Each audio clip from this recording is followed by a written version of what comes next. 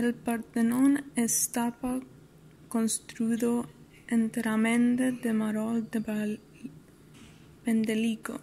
Es un templo dórico períptero con naos anfiprostila. Una pequeña distancia de la base, las columnas abiertas. Gracias.